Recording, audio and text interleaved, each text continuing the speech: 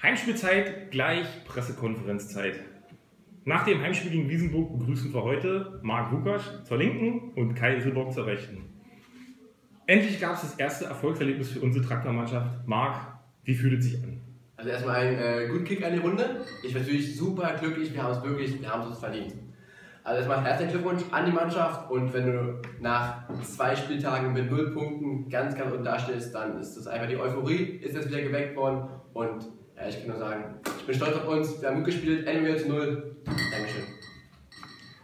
Kai, nun war ja unter der Woche die Personalsituation sehr angespannt. Es wurde ja auch versucht, das Spiel abzulegen, ja, zu verlegen, was dankend abgelehnt wurde. Was sagst du denn zur äh, Mannschaftsleistung heute speziell erste Halbzeit? Ja, also ich denke mal, wir haben äh, gut die Sachen besprochen vom Spiel, haben sie auch relativ gut umgesetzt dann in der ersten Halbzeit, hatten auch äh, teilweise relativ gute Chancen, haben wir leider natürlich äh, nicht alle genutzt. Aber ich denke mal, wir sollten weiterhin an uns arbeiten, wir sollten uns äh, ein bisschen aufs Training konzentrieren, dass wir auch vielleicht wieder ein bisschen äh, Kondition ins Spiel bringen, dass wir da auf jeden Fall äh, auf die nächsten Spiele ein bisschen gucken, dass wir da uns noch ein bisschen steigern. Marc, zweite Halbzeit, die entwickelte sich ja nicht ähm, zur Traktor, naja, sagen wir mal, zugunsten von Traktor, frühe gelbe rote Karte für Manu Jakob.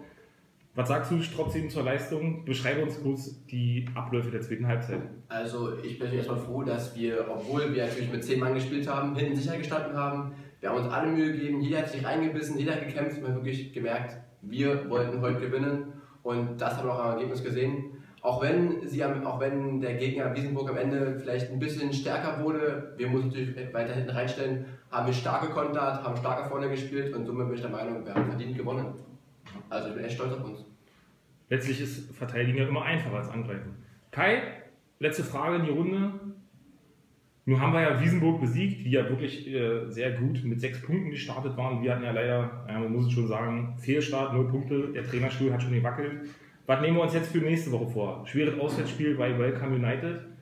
Auf was hoffst du? Wie sind die Aussichten? Wissen also, Sie vielleicht schon was zur personellen Situation? Äh, personell weiß ich jetzt nicht genau, aber ich hoffe natürlich, dass äh, die Trainingsbeteiligung in der nächsten Woche enorm ansteigt, dass wir uns äh, genügend auf den Gegner vorbereiten können. Welcome United, wissen wir alle, ist kein einfaches Spiel.